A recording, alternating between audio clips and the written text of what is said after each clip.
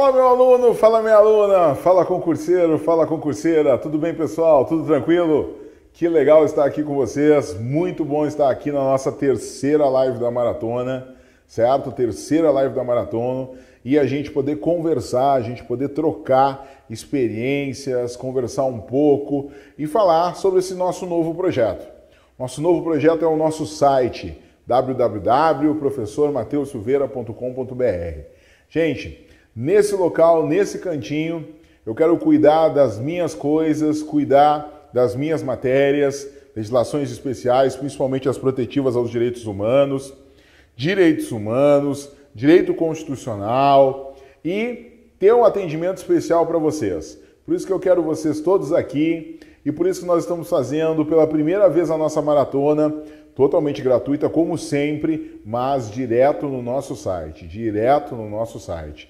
Para quê? Para que a gente tenha exatamente o contato com vocês, para que vocês já possam ir conhecendo a plataforma, para que vocês possam já conhecer os cursos que estão em pré-venda, certo? Temos três, quatro cursos em pré-venda já: Direitos Humanos Básico, Noções de Direito Constitucional, baseado na CESP, principalmente para quem vai fazer o concurso da Polícia Federal. Uh, questões CESP, baseado no concurso para a Polícia Federal também, Direito Constitucional e Legislação Especial. E leis especiais, leis especiais não penais, leis especiais que caem no concurso da PF, são super importantes, são um material que a gente tem já. Logo, logo vai sair um curso todinho, extensivo, especial para quem vai estudar para direito das pessoas com deficiência. Entra no site, mostra que você quer fazer concurso para tribunais e aí você vai ter exatamente essa atenção. A nossa equipe, a partir da próxima semana, vai entrar em contato com você e verificar qual é o seu produto, o que você quer, e aí a gente vai produzir esse produto para você, vai fazer esse produto com todo carinho. O nosso blog, cara, todo dia tem texto, tem conteúdo novo no nosso blog, não vai perder. Eu tenho três colunas no blog, não, tenho duas colunas no blog, constitucionalizando e humanizando, né? Humanizou, constitucionalizou e humanizou. E tenho vários colunistas, temos acho que uns oito colunistas e vão chegar mais colunistas ainda. Hoje a gente teve a estreia do Rodrigo Medeiros. Rodrigo de Medeiros é um grande amigo, advogado, professor, meu colega de mestrado e o cara faz poesia como ninguém. E o que, que ele vai escrever no nosso blog? Direitos Humanos e Poesia. Poesia e Direitos Humanos. Se você não viu a poesia ainda do, do Rodrigo dessa semana, vai lá, curte. Entra lá para você ver o quão legal está a poesia dele, tá muito massa. Tá falando sobre a Avenida da Legalidade, a discussão que teve daqui no Rio Grande do Sul, se troca ou não o nome de uma avenida que tinha o nome de Castelo Branco, que era um dos generais da época do regime militar, para um outro nome, trocaram para nome de Avenida da Legalidade, gerou uma polêmica e ele fez uma poesia sobre isso, muito legal, muito massa.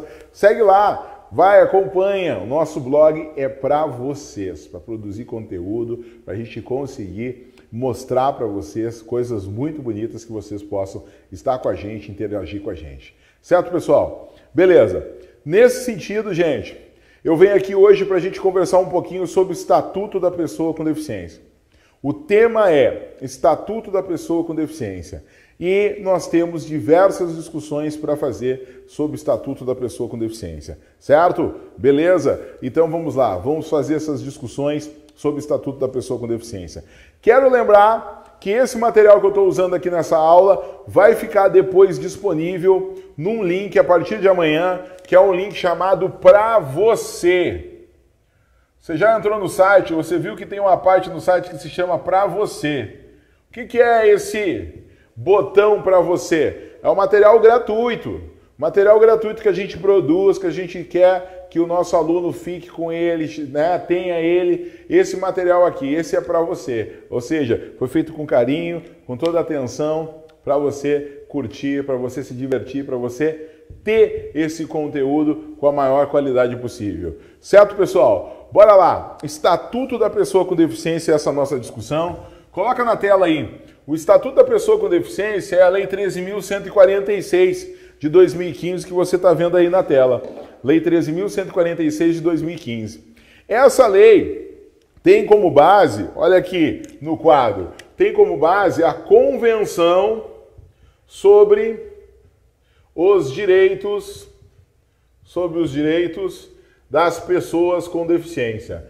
A Convenção sobre o Direito das Pessoas com Deficiência, que foi incorporada pelo decreto 69, decreto 6949 de 2009 à legislação brasileira, e foi incorporada com força de emenda constitucional, é a base do que está escrito no Estatuto da Pessoa com Deficiência.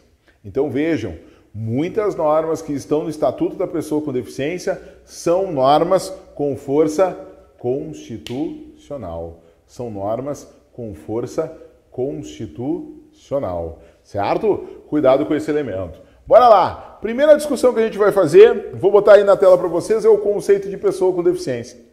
Conceito de pessoa com deficiência, gente, é esse conceito que vocês estão vendo aí na tela agora. Ó.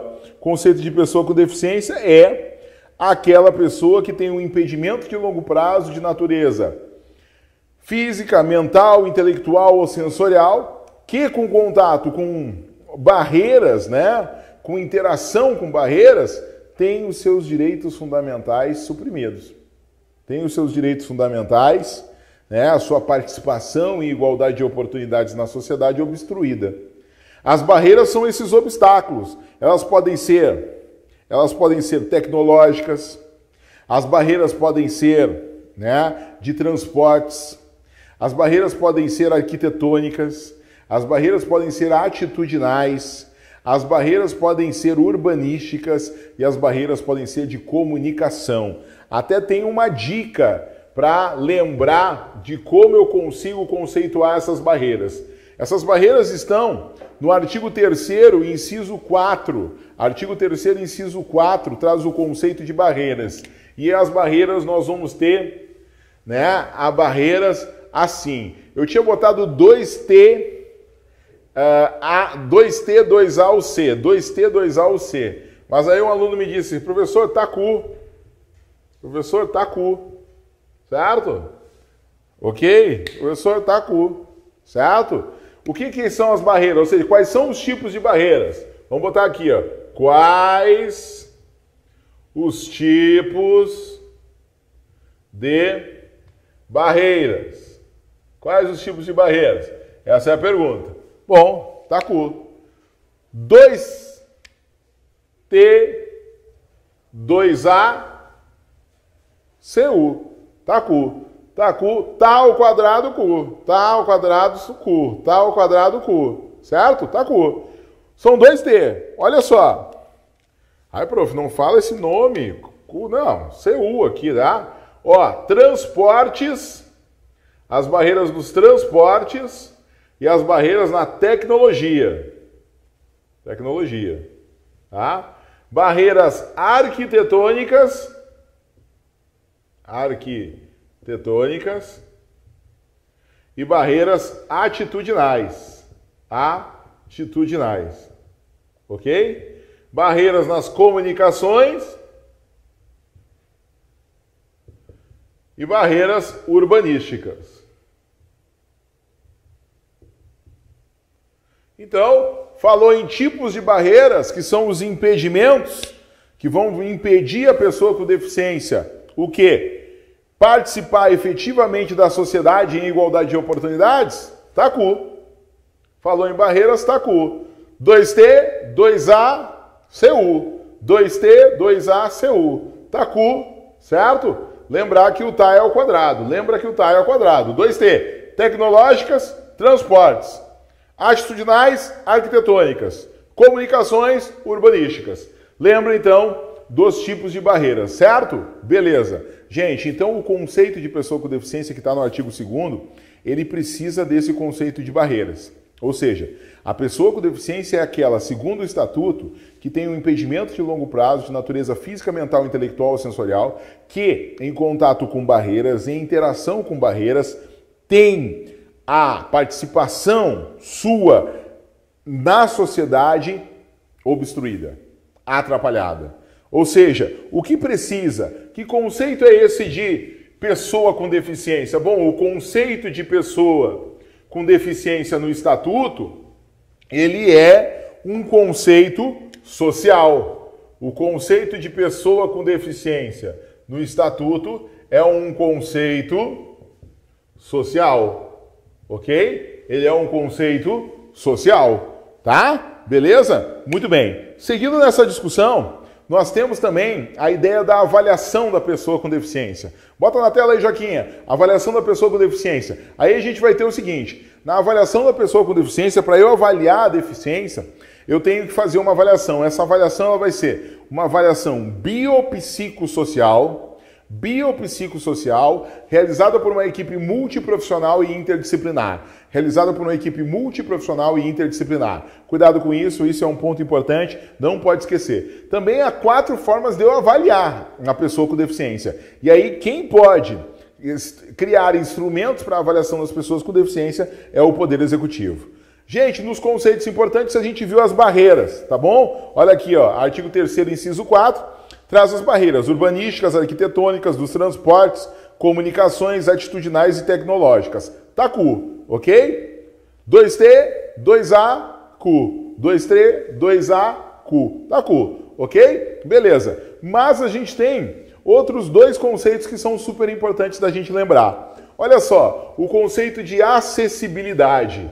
Pessoal, acessibilidade é o acesso seguro e autônomo aos transportes, aos espaços públicos, ao mobiliário, a equipamentos, a uh, edificações. Então, eu vou usar para acessibilidade a seguinte palavra. Falou em acessibilidade, está falando em asa.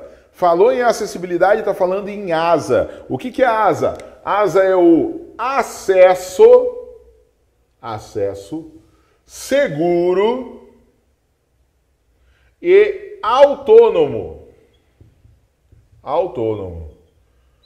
Falou em acessibilidade, nós estamos falando de acesso seguro e autônomo aos transportes. Acesso seguro autônomo às edificações. Esse acesso seguro autônomo a os transportes, ao mobiliário. Ou seja, isso é a famosa acessibilidade. Ok? Beleza, não esquece disso. Também tem que lembrar que o famoso desenho universal é algo que foi pensado para ser totalmente acessível. O desenho universal é algo que foi pensado para ser totalmente acessível, ou seja, é algo para ser usado por todas as pessoas sem a necessidade de adaptação ou de um projeto específico. Lembra que no desenho universal eu tenho paz no desenho universal eu tenho paz. Só que essa paz é com 2P. Essa paz é com 2P. Bora lá. Quais são os elementos do desenho universal? O desenho universal é uma concepção de produto, é uma concepção de um programa, programa, é a concepção de um ambiente, ou então de um serviço, totalmente acessível. É a concepção de um produto, é a concepção de um programa, é a concepção de um ambiente totalmente acessível, né? E de um serviço totalmente acessível. Então lembra que desenho universal é paz com 2P. Paz com 2P. Paz com 2P. Beleza? Não esquece disso. Beleza no desenho universal? Vejam só, pessoal, Lembra o seguinte: no direito da pessoa com deficiência, o grande objetivo é estabelecermos a igualdade de oportunidades. E isso está previsto no artigo 4 O artigo 4 vai ser muito claro ao prever igualdade de oportunidades. A ideia é estabelecermos e tratarmos os diferentes de modo diferente. É isso que é a igualdade de oportunidades, é esse o elemento circunstancial. Mas há um outro elemento no artigo 4 parágrafo 2 que é super importante. Olha na tela, por favor. O parágrafo 2 vai dizer o seguinte: que a pessoa com deficiência não está obrigada à fruição de benefícios decorrentes da ação afirmativa. A pessoa com deficiência não está obrigada à fruição de benefícios decorrentes de ação afirmativa. Então vejam, é aquele exemplo que eu uso sempre nas minhas aulas. A minha mãe tinha 60 e tantos anos e não ia na fila dos idosos. Ela brincava que não ia na fila, na fila dos velhos. Então, por quê? Porque ela não é obrigada a ir na fila. Ela pode é um direito dela, ela pode fluir aquele direito, aquela ação afirmativa, mas não é uma obrigatoriedade, não há uma obrigatoriedade nesse sentido. Então, esse é um ponto super importante dentro dessa construção. Beleza? Outra coisa importante, lembra, em regra as pessoas com deficiência não são vulneráveis. Em regra as pessoas com deficiência não são vulneráveis. Mas nós temos dois artigos que vão falar sobre vulnerabilidade: o artigo 5 e o artigo 10. O artigo 5 vai trazer os especialmente vulneráveis, que são a criança, o adolescente, a mulher e o idoso com deficiência. Atenção, a criança, o adolescente, a mulher e o idoso com deficiência são considerados especialmente vulneráveis nos casos de negligência, discriminação, exploração, violência, tortura, crueldade, opressão, tratamento cruel, desumano ou degradante. Bota na tela para você ver o artigo 5 porque ele traz exatamente esses elementos. Os especialmente vulneráveis, que são crianças, adolescentes, mulheres e idosos com deficiência, nestes casos. Casos de agressão, né, gente? Casos de desrespeito à pessoa com deficiência, ok? Beleza? Outro elemento importantíssimo é o artigo 6. Pessoal, não tem como estudar direito das pessoas com deficiência e não conhecer o artigo 6. Nossa, tem que conhecer. O artigo 6 vai trazer para nós o seguinte: o artigo 6 vai trazer para nós o seguinte: ele vai trazer para nós uma regra super importante, que é pessoa com deficiência é capaz. Pessoa com deficiência é capaz.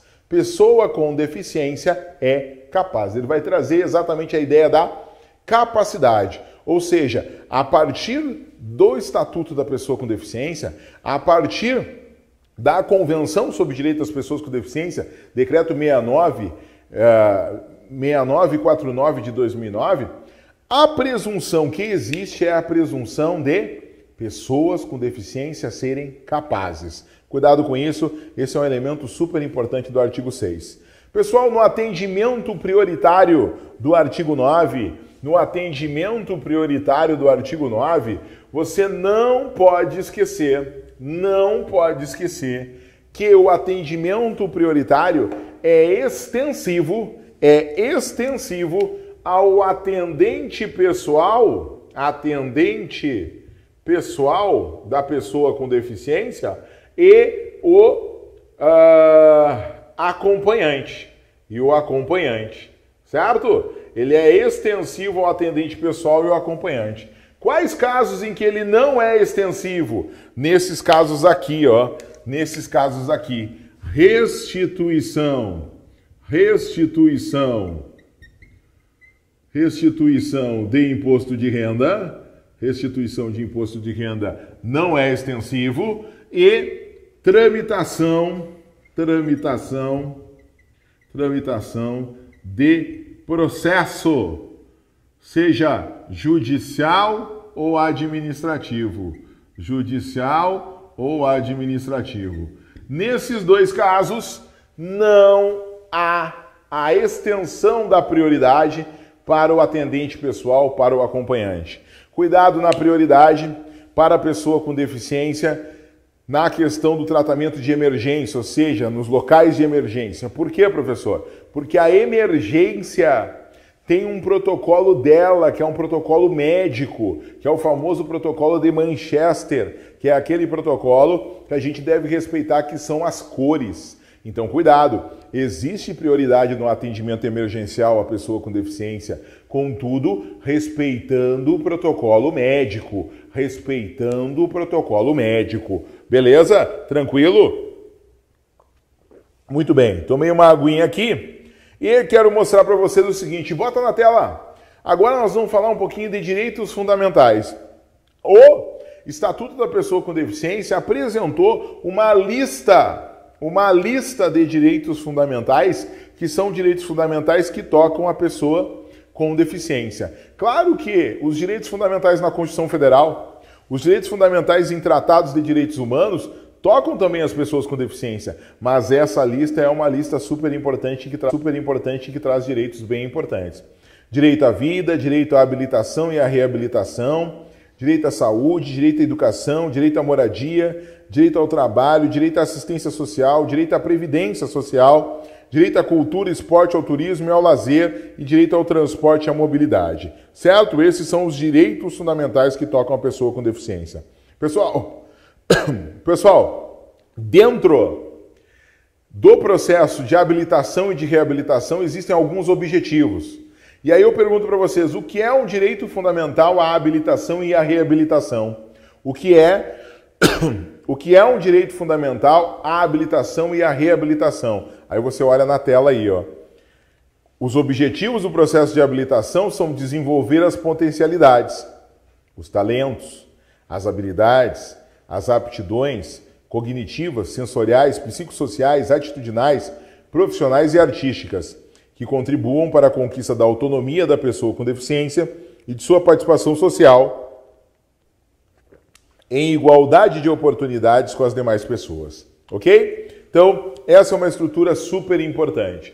Um outro direito fundamental que a gente tem, a gente tem o direito à saúde, muito cuidado, por exemplo, as operadoras de plano de saúde não podem propor planos de saúde que tenham menos serviços para pessoas com deficiência do que para as demais pessoas, ou seja, devem oferecer os mesmos serviços no mínimo. As operadoras de plano de saúde também não podem cobrar valores diferenciados e mais caros para as pessoas com deficiência, realizando o que? Uma discriminação, porque vai ter que usar um pouco mais o plano, etc, etc. Também tem que lembrar que a pessoa com deficiência tem direito a acompanhante quando ela estiver internada em hospitais, em ambulatórios, ela tem direito a acompanhante, ok? Não esquece também que nós temos no direito à saúde, se no atendimento à saúde, um serviço público ou privado de atendimento à saúde, ao atender uma pessoa com deficiência, suspeitar de que ela sofre, sofre ou sofreu violência, ou tiver a certeza por causa das agressões, por causa exatamente das lesões, ela tem que realizar o quê? Realizar uma notificação compulsória. Notificação compulsória é o nome. Eu tenho que fazer essa notificação compulsória. Coloca o artigo 26 na tela para o pessoal ver o que, que a gente está falando. Casos de suspeita ou de confirmação de violência praticado contra a pessoa com deficiência serão objeto de notificação compulsória pelos serviços de saúde, públicos e privados, à autoridade policial e ao Ministério Público. Para quem nós vamos notificar? Serviços, né? Os serviços de saúde público e privados vão notificar. Deverão fazer a notificação compulsória para quem?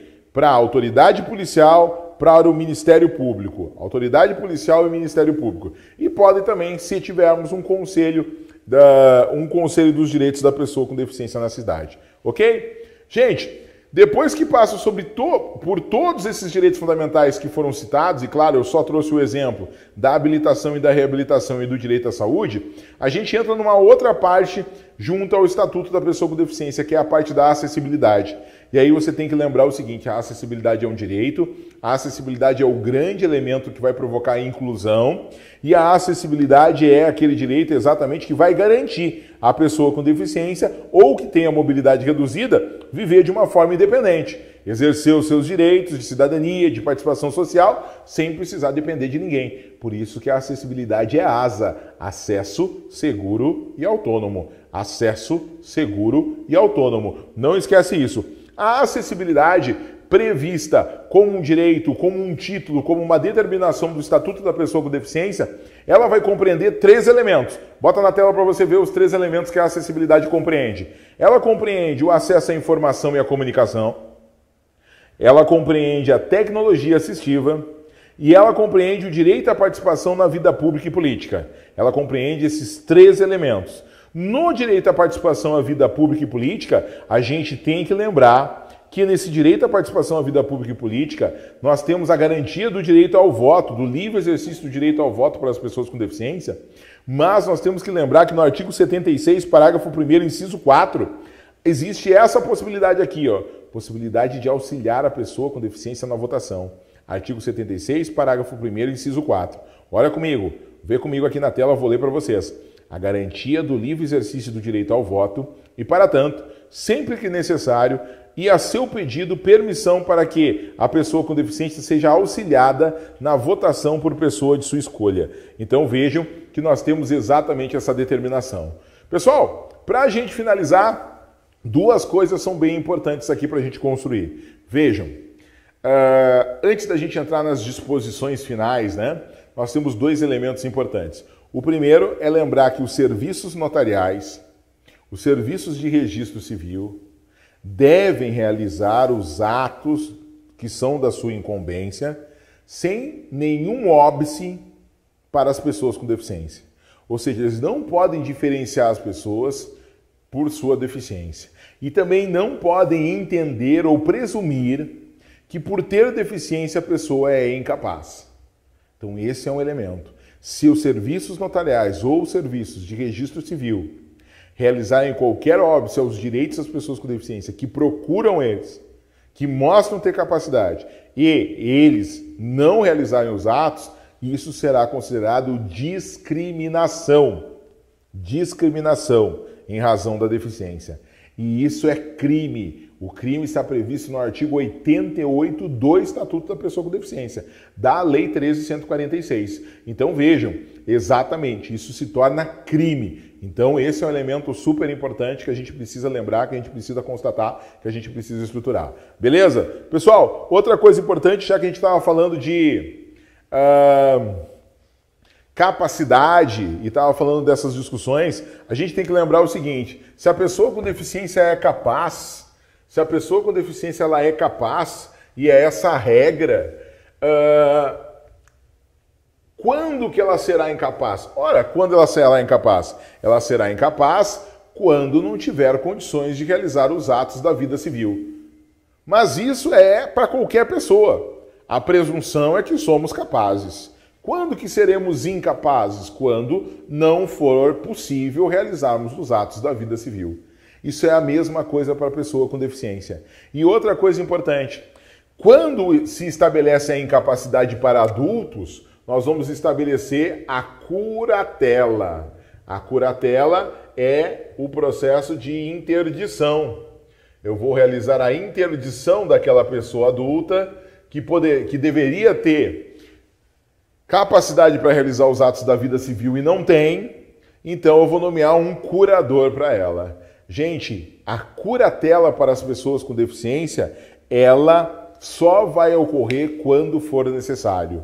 Ela só vai ocorrer quando for necessário, ou seja, quando a pessoa com deficiência não tiver condições de realizar ela os atos da sua vida civil, ok? Também é necessário lembrar que a curatela constitui uma medida extraordinária. Eu vou botar aqui, ó, curatela, quando necessário, somente, vou botar aqui, ó, somente quando necessário, tá? Vou botar aqui, ó, medida, medida extraordinária, extraordinária certo? Extraordinária a medida, é uma medida extraordinária, uma medida de proteção, tá? Vou botar aqui, a medida protetiva. O texto vai dizer medida protetiva extraordinária, certo? E tem que lembrar, né? Em regra, vai durar um periodinho, um período e logo depois vai acabar. E um outro ponto super importante: os curadores precisam prestar contas, óbvio, ao juiz, ok? E aí a gente tem que lembrar o seguinte: bota 85 aí na tela para a gente ver o seguinte, ó. A curatela não afetará, em regra, elementos fora da ideia da natureza patrimonial e negocial. Ou seja, a curatela afetará tão somente os atos relacionados aos direitos de natureza patrimonial e negocial. A curatela afetará tão somente os atos relacionados aos direitos de natureza patrimonial e negocial. É essa a ideia da curatela, é esse o estabelecimento da curatela. Certo, gente? Outro elemento super importante, a definição da curatela, ou seja, o fato de alguém estar curatelado no estatuto da pessoa com deficiência não alcança vários direitos, como por exemplo, o direito ao corpo, o direito à sexualidade, o direito ao matrimônio, o direito à privacidade, o direito à educação, o direito à saúde, o direito ao trabalho o direito ao voto. Cuidado com isso. Em regra, a gente vai presumir a curatela como um elemento que torna a pessoa totalmente incapaz. Mas a presunção no Estatuto da Pessoa com Deficiência é diferente. Ele presume a curatela como se fosse um elemento apenas de natureza patrimonial e negocial. Professor, poderá ser maior? Claro, poderá. Se a pessoa for completamente incapaz, a curatela será em todos os casos, em todas as situações. Mas a regra, quando ele não falar isso numa questão e falar que a pessoa com deficiência tem curatela, a gente vai ter a presunção legal de que essa curatela foi estabelecida para a natureza patrimonial e negocial. Somente isso que não afeta o direito ao trabalho da pessoa com deficiência, que não afeta o direito ao voto da pessoa com deficiência, que não afeta o direito à saúde, à educação, à privacidade, ao matrimônio, à sexualidade, ou seja, que não afeta esses elementos. Então esse é um ponto super importante que a gente tem aqui. Por fim, agora, realmente por fim, eu quero mostrar para vocês o seguinte: o Estatuto da Pessoa com Deficiência alterou várias normas. Código Eleitoral, Código de Trânsito, Código Civil. E é no Código Civil que ele alterou e trouxe um elemento super importante que é uma grande novidade, né? Que é uma grande novidade. Que novidade é essa? Que elemento é esse que ele alterou? Gente, no Código Civil nós tivemos então a alteração e tivemos a criação do processo de tomada de decisão de decisão apoiada. A tomada de decisão apoiada, ela está estabelecida no artigo 1000, vou botar aqui, ó, artigo 1783A do Código Civil. Foi incluído o artigo 1783A do Código Civil por força do artigo 116 do Estatuto. O artigo 116 do Estatuto, lá na parte final, do Estatuto da Pessoa com Deficiência, da Lei de Inclusão, nós tivemos exatamente o estabelecimento do processo de tomada de decisão apoiada, que, cuidado, não retira a capacidade da pessoa com deficiência. Precisa ser celebrado um documento, que nós vamos chamar de termo. Precisa ter no mínimo dois apoiadores. A pessoa com deficiência escolhe esses apoiadores, vai celebrar esse termo na frente de um juiz. A decisão apoiada vai estabelecer exatamente dentro do termo Terceiros podem pedir para os apoiadores contrassinarem contratos, negócios que a pessoa uh, com deficiência vai fazer, mas isso não, cuidado, hein? Isso não retira a capacidade da pessoa com deficiência. A pessoa com deficiência permanece sendo capaz no processo de tomada de decisão apoiada. A pessoa com deficiência permanece sendo capaz no processo de tomada de decisão apoiada. O que ela vai ter? Ela vai ter um apoio, ela vai ter uma ajuda, ela vai ter um auxílio no, naquela situação prevista no termo de tomada de decisão apoiada. Então, esse é um elemento super importante. Eu finalizo essa discussão. Desejo a vocês um ótimo estudo, uma ótima preparação. Quero que vocês sigam minhas redes sociais. Aqui no YouTube, vocês também coloquem o sininho de notificação, marca aí o sininho de notificação aqui no meu canal, professor Matheus Silveira. Por quê? Porque Aí você vai ser avisado toda vez que a gente tiver um link novo, toda vez que a gente tiver um vídeo novo para você, certo? E na nossa página www.professormateusilveira.com.br você vai encontrar diversos produtos, você vai encontrar a produção com muito carinho do melhor conteúdo de direito constitucional, de direitos humanos e de legislação ligada aos direitos humanos feito para você, com todo carinho e com toda força. Beleza, pessoal? Tô indo nessa. Quero agradecer a participação de todos que estiveram conosco aqui na live e a gente se encontra amanhã, quinta-feira. Nós vamos nos encontrar na próxima live, né? Às 11h30 da manhã. Amanhã, às 11h30, nós vamos falar sobre discussão, se eu não estou enganado, de direito constitucional. Tá bom? Mas logo, logo o pessoal já divulga para vocês. Beleza? Nas minhas redes sociais. Tchau, tchau. Tô indo nessa. Valeu, pessoal.